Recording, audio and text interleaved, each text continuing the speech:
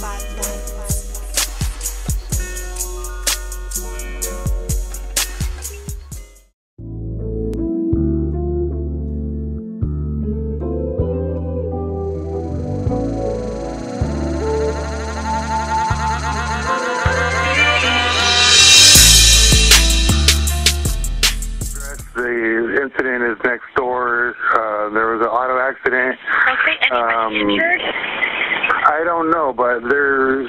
soon because there's a um, black male who was involved in the incident, uh, waving a gun around at a female. Okay. That was also in the incident. Okay, how many um, how many vehicles were involved? One vehicle ran into a tree. And the guy's flipping out and waving a gun around at a, at a female companion of his. Nah, nah, nigga. Oh my mama.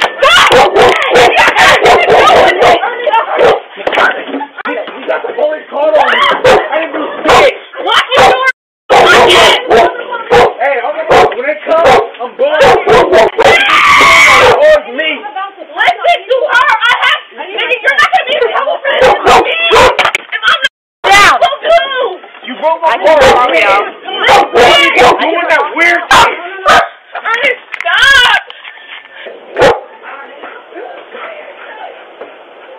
Yeah, bro, fix this shit. Stop running. Fix this shit, nigga. I can't even move my car. You ran over. You did that again. When the suspect returned to the apartment, he had replaced the standard magazine in his handgun with a 50 round drum magazine, seen in his hand here.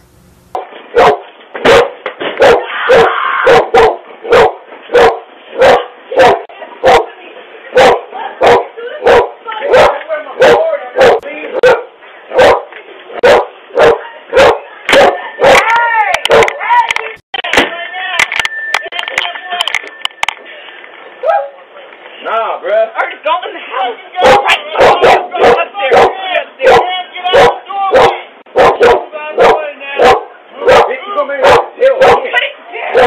As the female victim moved away from the apartment, the suspect emerged and opened fire on the female victim, executing her in front of the deputies. As the suspect emerged and began firing, all three deputies on scene fired their weapons at the male suspect immediately, attempting to stop him from killing the female victim. The suspect was struck by the deputies' gunfire.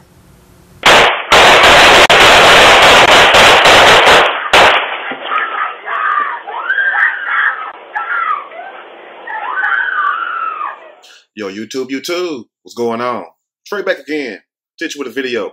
Now, this video right here comes out of Carmichael, California. And big shout out to everybody in the great state of California, everybody in Carmichael, everybody all over California, if you will, and all my people in Los Angeles also. And I want to thank all the people, the family, and also the Trey King Show subscribers who send me this video. And uh, I just want to send my condolences out first to the Brown family because it's very sad what happened to their beautiful daughter. And it just shows you that, you know, it's a right and a wrong way to love somebody. You know, just because somebody professed to love you does not mean that person love you. And this story kind of remind me of the situation that happened out of Shreveport, Louisiana with the uh Renita Williams, uh Nunu, and also Jonathan Robinson, Tough Face Johnson situation last year.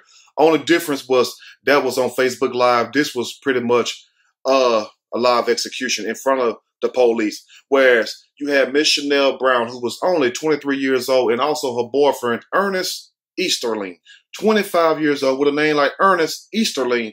You better be careful. But anyway, now you would think, what in the hell and why in the hell would a 25 year old proceed to act like this when it was Miss Chanell Brown, first boyfriend? This is just not me speculating. We speak number one, yes, fat, fat facts. That's it. Her family said it, all that. So she didn't know anything about trying to love somebody or whatnot, because she was just learning to love herself, if you will.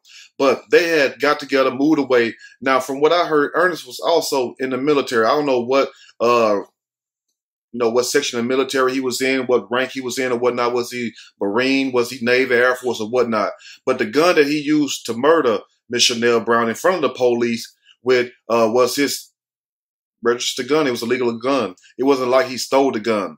But uh, the sad thing is what he did with that gun. Now they had moved away, and evidently it was problems still arising and whatnot. So what happened on this certain night, October the 27th, uh, Miss Chanell Brown, she happened to be over somebody's house, a friend house. I don't know if she was outside her home, but the neighbors had heard the commotion and everything else because Ernest came over there and it was a whole argument started, a whole fight, and she called the police. So he basically took it upon himself, from what I have gathered and from what the news sources say, that he was just gonna end her life right then and there. I guess he was saying oh, over she she tore up a car or she may have broke this or broke that on a car. I don't know what was that about. But a car shouldn't have you trying to kill nobody. But anyway, when the deputies arrived, well, before the deputies arrived, she was basically pleading with Ernest and everything, and she told the neighbors to close and lock their door. I guess she knew this bastard was crazy. But anyway, when the deputies arrived, uh, they was giving Chanell orders to come to them like most of the time they do. So while she's walking to them, he follows behind her, as you all can see on the clip. But you have to click uh, the link below to find that because you can't show nobody getting murdered. If you do, you're crazy. They're gonna shut you down. But anyway, when I, while she's coming to the deputies, following their orders, he runs behind her, as you will see when you click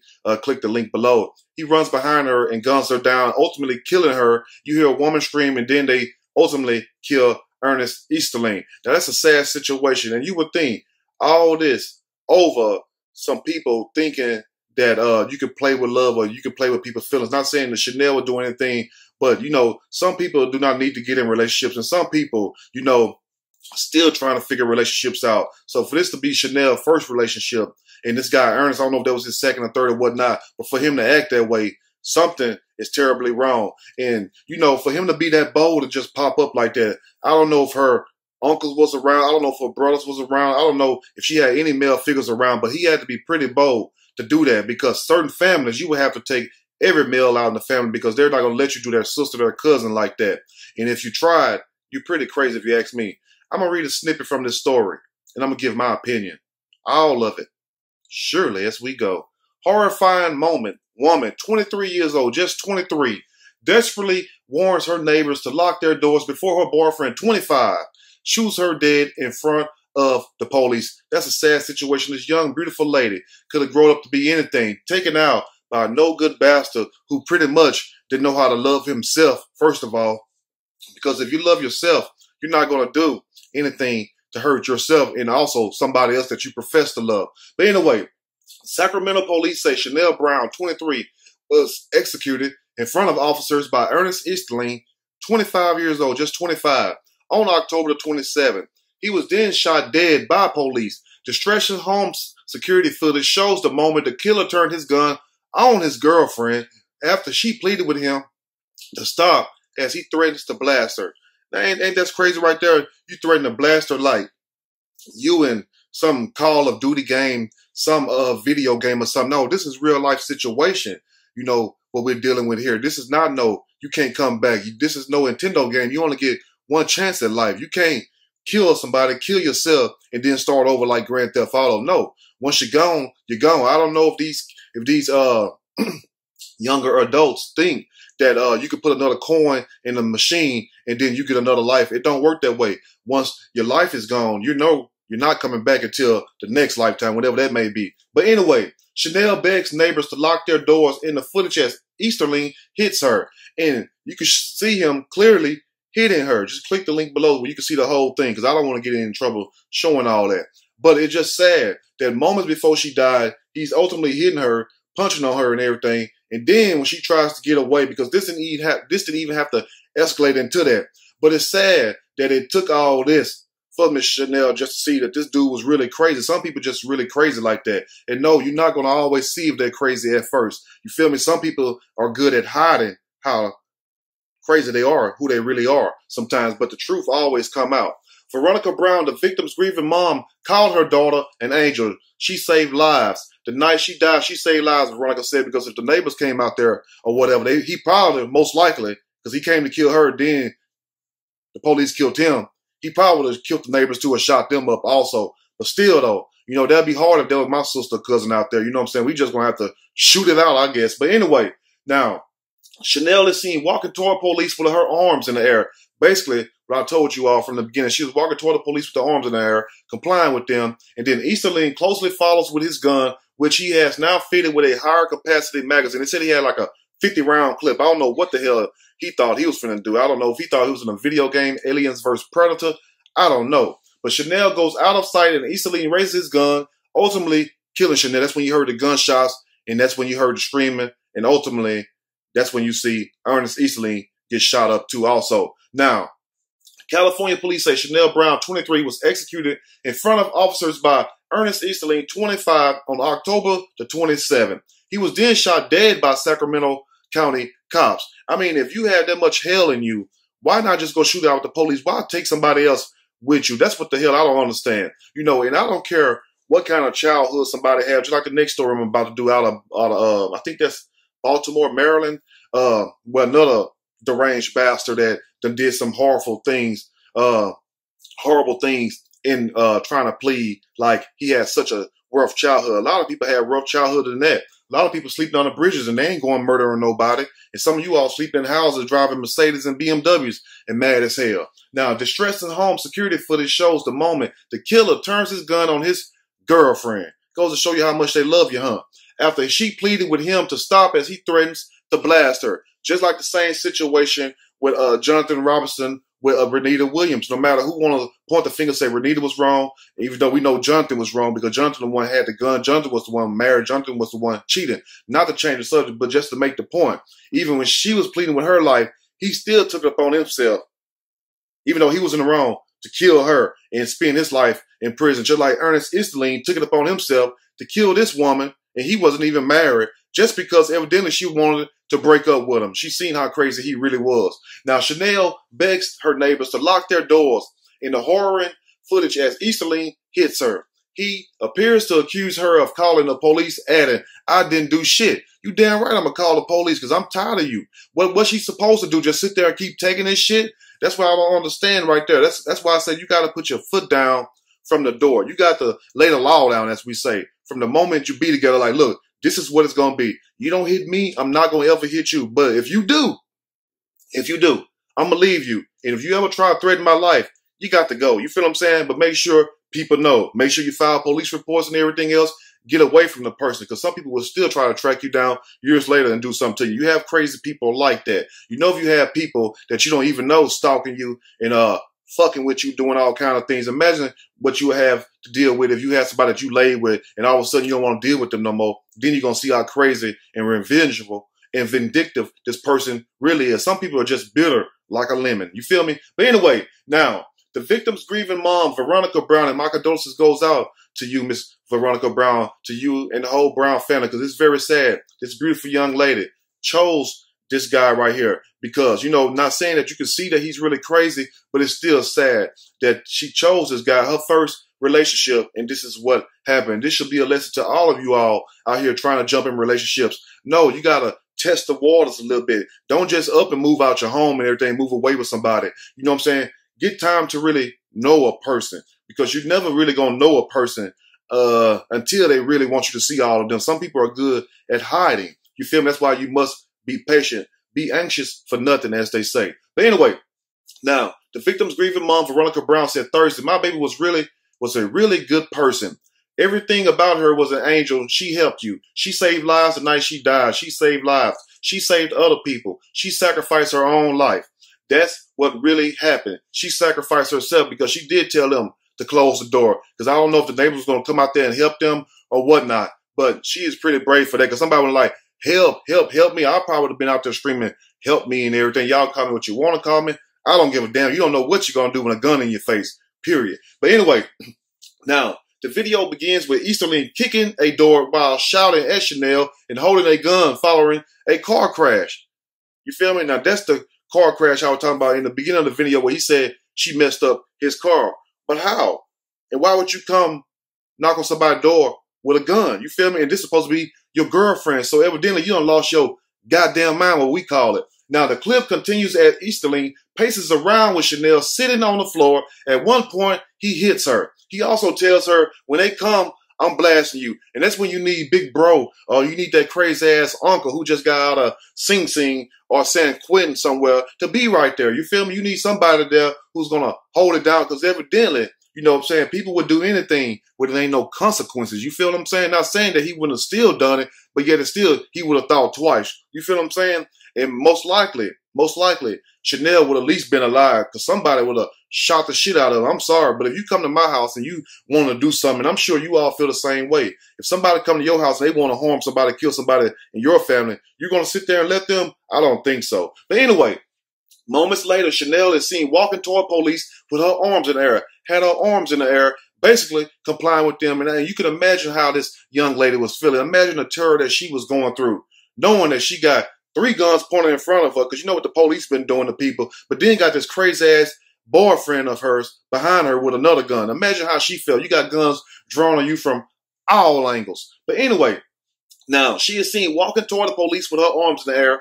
Easterling closely follows with his gun with his crazy ass. And they should have had a sharpshooter right then just to take his ass out right then. That's why you need a sharpshooter. Don't just come out there with three uh, gumshoes. Gumshoes is what they call rookie cops. But anyway, don't come out there with uh, with just three cops. No, bring a sharpshooter, bring a sniper out here, because this bastard is crazy. But anyway, now he closely follows Chanell with the gun behind her, which he has now fitted with a higher capacity magazine. What you need more bullets for? You feel what I'm saying? What you need more bullets for? And, and instead of you, instead of you taking them down bullets shooting Chanell, you should have taken them and shoved it right up your butt and shot your own damn self. That's what I'm trying to say. If you so mad and you want to end your life, in your own damn life. Don't end my damn life. You have some people so miserable, don't you know, that they will kill you just because they unhappy with them damn self. Ain't that some shit? You feel what I'm saying? You have some people so miserable, let me say it again, that they will kill you. You may be happy as hell. You know what I'm saying? You may be happy as a fly on a pile of shit. You feel me? But they will kill you just because you're happy with your life and they miserable as hell. Anyway, now, Chanell's goes out of sight and Easterling raises his gun and it's a sad situation. A series of shots are fired, killing Chanell right in front of the police, and a woman can be heard screaming. Off camera, Easterling was shot dead by three deputies. They lit his ass up like a Christmas tree. They lit him up. But anyway, it's a sad situation because what in the hell is wrong with these people to make them think that you have the power or the audacity to go to somebody's house, kick the door over a minor car accident, you feel what I'm saying? A car can be fixed. Bullet holes in your head and your chest and your heart and lungs, that can't be fixed. And if it does, you you gonna be paralyzed. You feel me? So what I'm saying, the shit is not worth it. You feel what I'm saying? So I think that we all should thank ourselves for making it past some of these stages because a lot of us dealt with crazy people in our past. Past, I done had guns pulled on me in my past before, but you know, it's a good thing to be able to grow from that and be able to talk to you all today and let you all know some of these certain things. Not saying that I was perfect in a relationship, but my intention was never to hurt nobody. You feel me? I'd rather break up with you and go on by my damn business because I love my life too much to be trying to hurt any damn body, even though they try to hurt me. But anyway, let's go and finish up. Now, Sergeant Tess Deterding said the suspect is seen pulling the victim, his girlfriend, towards an apartment, kicking an apartment door, and physically assaulting the female victim while holding a gun in his left hand.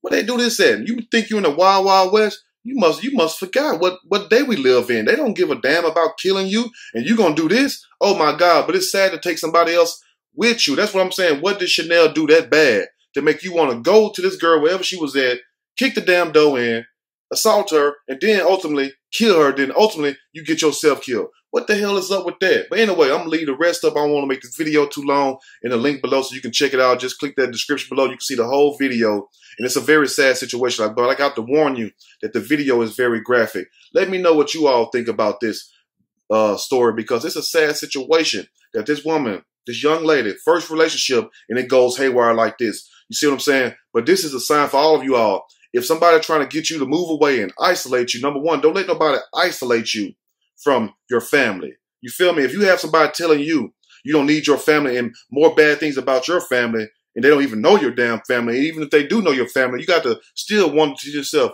why are you so hell bent on me getting away from my family? That means they're trying to get you off to themselves. Sometimes it may be for the better if your family causing problem, but most of the time it's because they got hidden agendas. They got ulterior motives, if you ask me. So be careful who you decide to let come into your life because things can go just like this if you're not careful. Let me know what you think. And to the Brown family, I send my condolences out to all of you all. And to the Trey King Show family, thank you for sending the, this video in. And keep sending the rest of those video in. Like I said, I'm still getting over my sickness. Uh, the touch of the flu. That's what they say down south. Every time you get a cold, it's a touch of the flu. I'm still getting over that. But uh, in the meantime, we still gonna keep that work in and let me know what you all think. And also, also, let me remind you all of this right here. Love does not supposed to hurt. Remember this. Love does not supposed to hurt. If somebody professing to love you and you're getting hurt by them all the time, that's not love. That's not love. That's hate. Anyway, you all have a blessed day. If you like the video, push that like button. If you like the video, subscribe to the channel. Definitely share this video with your family and friends. Until next time, you all stay blessed. Have a great weekend and have a great Thanksgiving. This upcoming Thanksgiving. If you're not celebrating Thanksgiving, still call somebody in your family and tell them you love them. Anyway, y'all take care. I'm out.